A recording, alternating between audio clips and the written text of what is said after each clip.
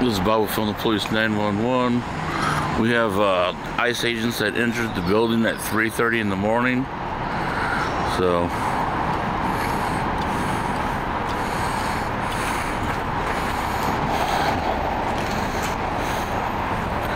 And I've also received word that they're actually staging someplace. I'm not exactly sure.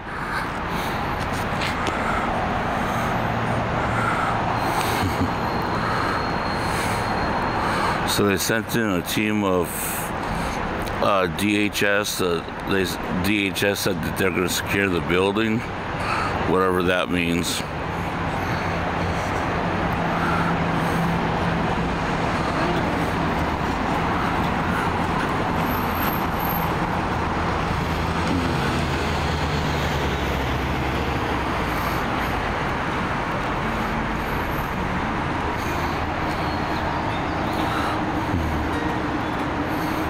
It's all nice and quiet, very few people out here. When I got here, I noticed there was a bunch of people leaving.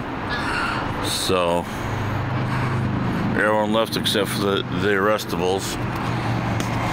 Bob from the police signing off.